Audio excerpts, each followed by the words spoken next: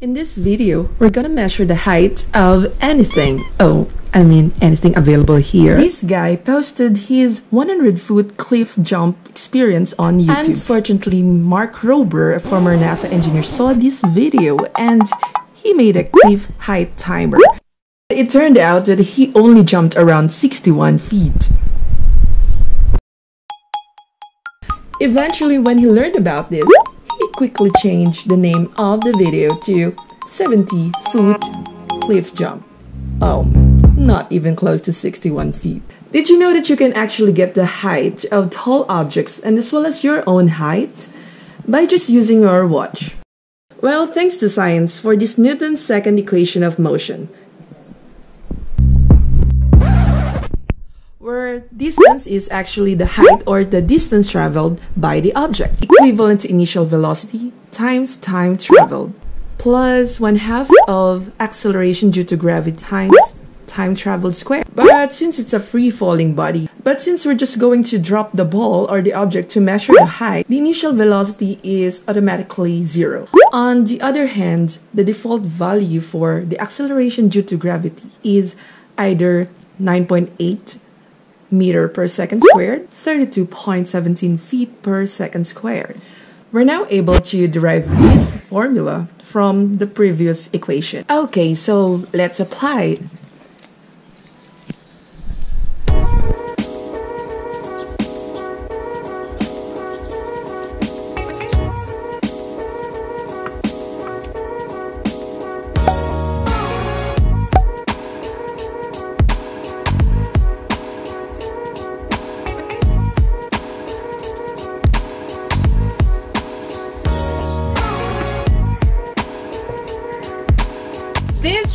and I'm going to get his height by just using a stopwatch. Let's begin.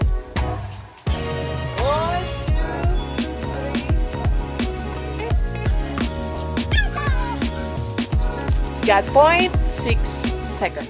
My father stands around 5'7", so I got 0.6 second. So that means by using the formula, 0.6 times 0.6 times 16 equivalent to 5.76 feet.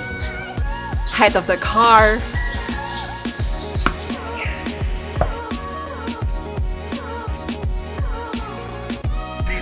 Talon ka na! One!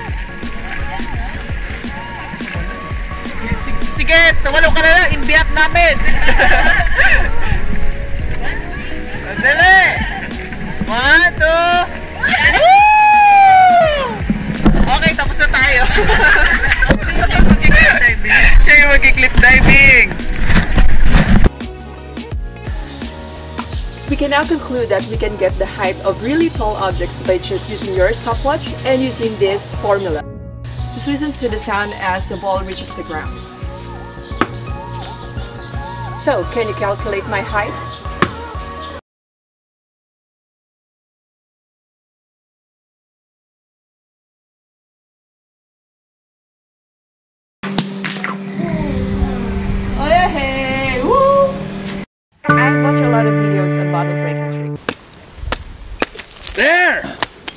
Go. Did it come? you- Hey, look at that! And those got me interested on trying to break some bottles. All you need is a beer bottle and a water in it. Actually, I have tried breaking the bottle many times with just my bare hand slapping on its top. Ah. However, little did I know, it was really hard to do in my part.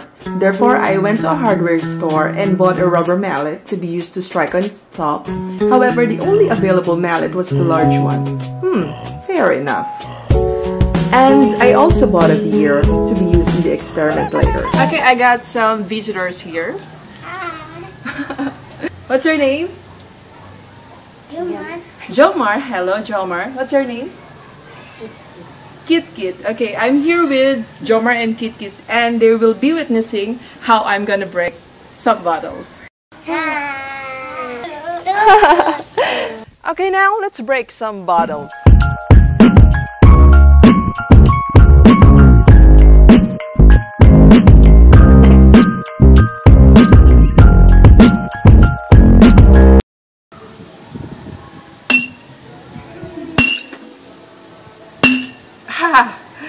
One more, one more, one more. Almost there. One, two. Oh! Oh no!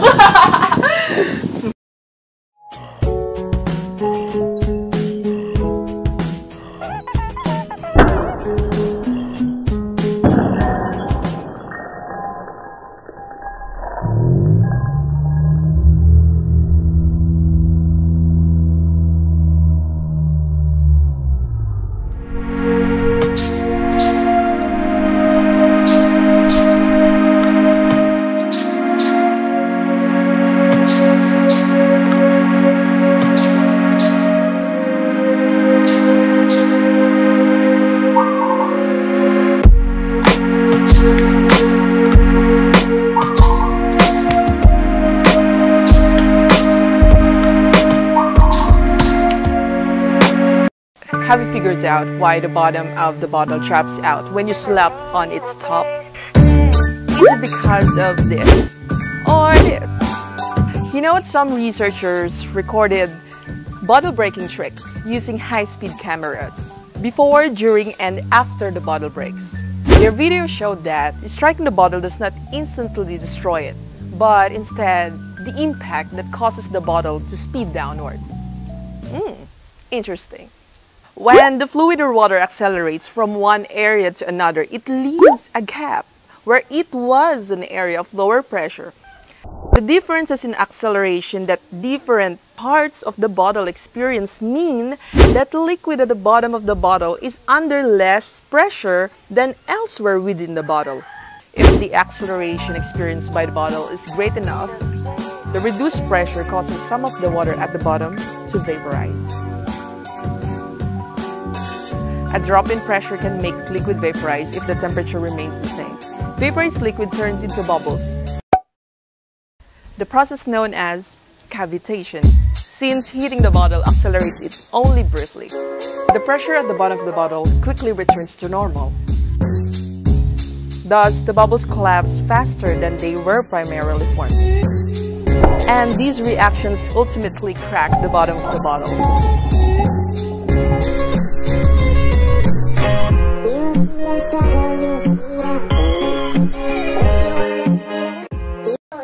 To prove that air pressure is not the one that causing the bottle to break, we have to cover the bottle.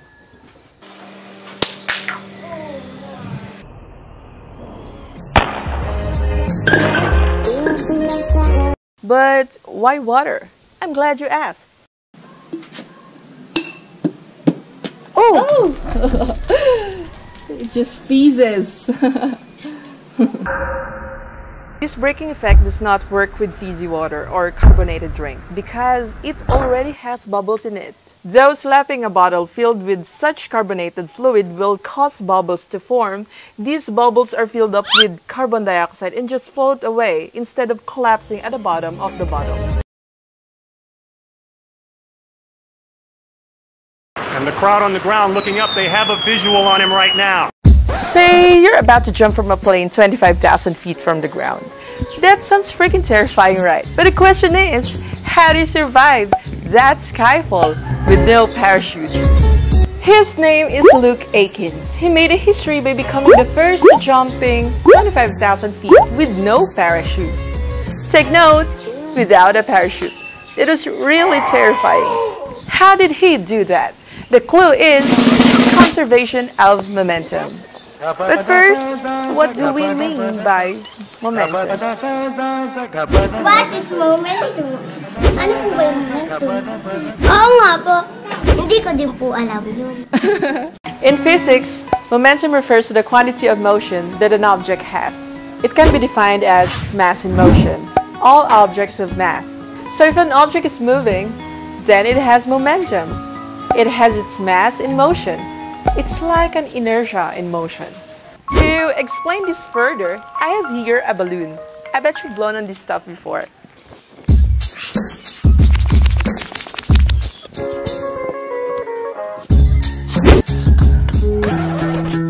Devise something like a balloon racket and see what will happen.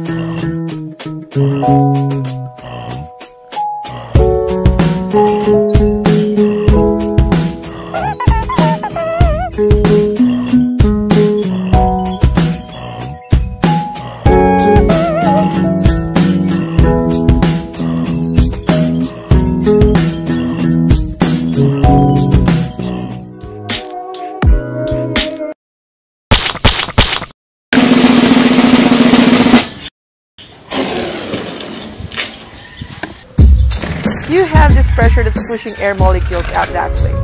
The balloon's conservation momentum has to go the other way. This is by Newton's third law of motion. For every action, there's an equal and opposite reaction. This is how rockets work. You can't use a propeller in space because there's nothing to push against. So rockets are like throwing some stuff, chemical combustion, from their back and make them go to the opposite direction out there in space. So you're moving fast. You have this momentum. How do you stop it? Well, the moment you try to stop something from moving, that shows change in momentum. Or in other words, impulse. I have here an egg. Throw this against the wall and it broke. I have here another egg. Throw this against a cloth and it didn't break. Same speed, but what is the only difference between the two? Time. The time was very short against the wall, therefore the force was big. While in the other one, the time was big, therefore the force was small. Same with parkers. They jump off crazy things. But what do they usually do? They either roll, slide, or flip. Why? Because this extend the time until they momentarily stop.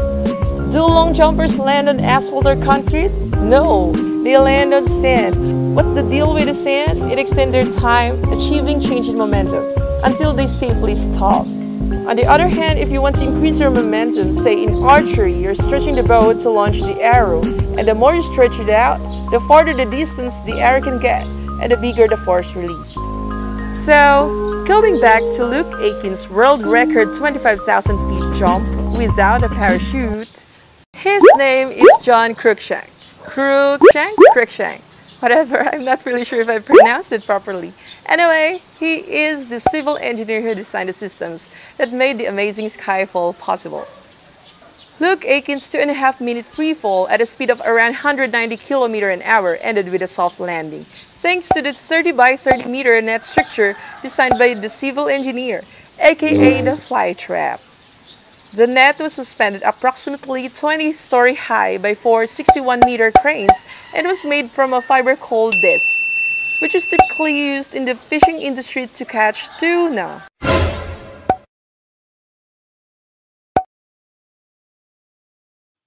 All right, thumbs up. It got real at this point. All right, boys, here we go. Ready, set, see ya.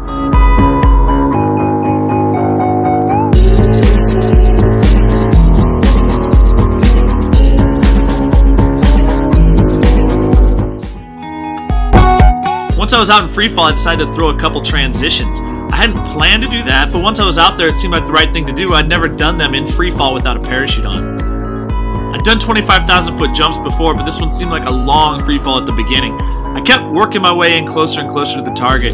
About halfway down, I take my oxygen system off my mask, I hand that thing over to Andy, and then I don't have to worry about that thing anymore. I'm back to only focusing on the target. A little more than needed. I was a little short. I wanted to walk my way into the target. About 2,000 feet, I was perfect on the lights, dead center. At that point, I slid forward a little bit. I started to back up. I backed up too far. I started moving around. And now I have a zero ground speed. I know I'm in the net. I'm not exactly centered. I'm off to the side a little bit, but I know I'm in the safe zone. So now I just got to concentrate on a nice clean rollover and wait for the impact.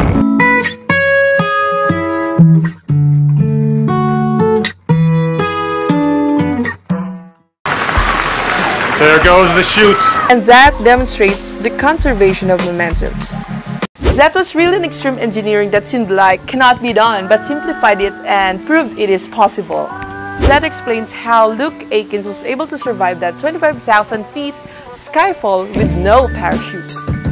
And that answers the question, how do you survive a 25,000 feet free fall with no parachute? But of course, provided that you have some kind of engineering system in place to catch you safely. Why do people need to study this stuff or this momentum stuff? Maybe because momentum is a vector quantity. It has both magnitude and direction. Since momentum is a direction, it can be used to predict the resulting direction and speed of motion of objects after they collide. Thus can be used in certain applications in real life like airbags built for cars to somehow prevent or reduce the impact of the driver against the steering wheel or dashboard during car collisions or accidents.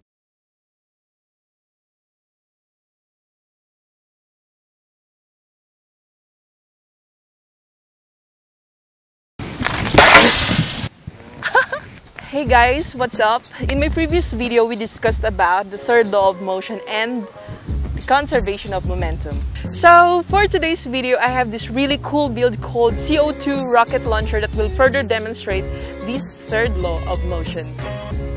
Okay guys, so this comprises of a PVC pipe, 3 quarter inch PVC pipe, 3 quarter inch end cap, CO2 cartridge, this is carbon dioxide cartridge, CO2 cartridge.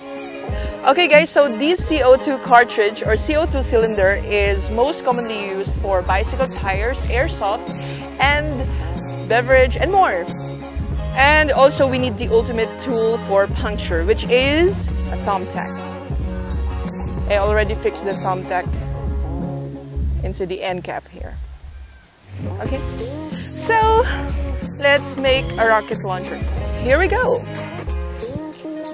The end cap, the thumbtack, and have to snug, snug it to here. Okay.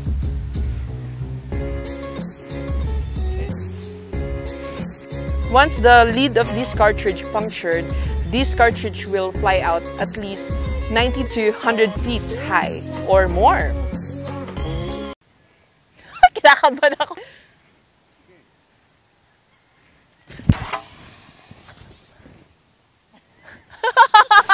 Demonstrating Newton's third law of motion, aka law of action and reaction.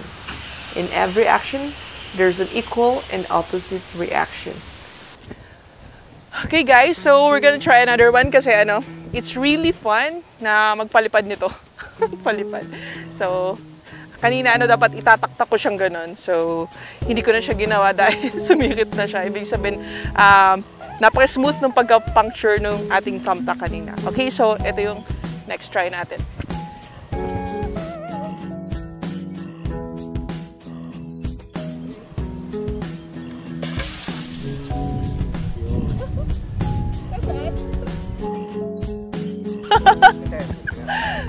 okay. Binibilang ni Papa. Okay. So, tingnan natin guys kung saan... Ayan, binibilang ni Papa. Yun. Naka 11 meters din naman. Yan. So, malamig, Papa.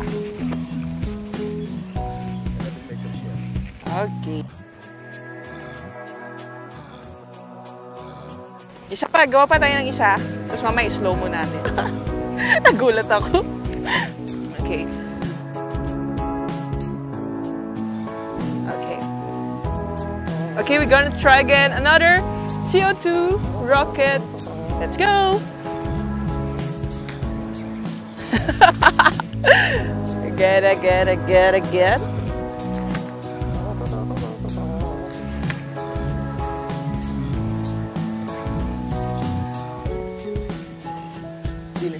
Na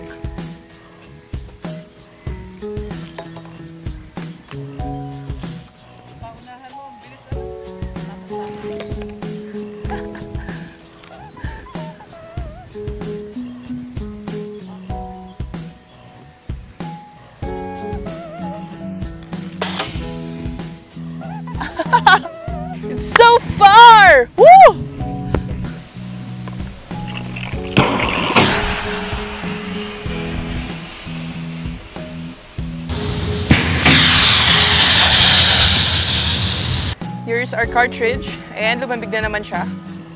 Woo! Lamig. Nag-release. Feel mo na malamig talaga siya. Nagulat ako nung, pinasi, nung sumikit siya. Kailangan kasi ano, malakas yung pagkaka, ano, pagkakatak-tak, ganun. Hello, mga bata. May mga bata. So, yun, nung na-release yung carbon dioxide sa loob ng cylinder, nung, hello! okay, so nung na-release yung carbon dioxide natin from this cylinder, lumamig siya. oh. Feel natin yung lamig. Ang lamig! Yan. Okay. Doing experiments with you guys, learning science with you guys, always feels so great. So, see you around next time. As always, stay safe, stay curious. Please subscribe.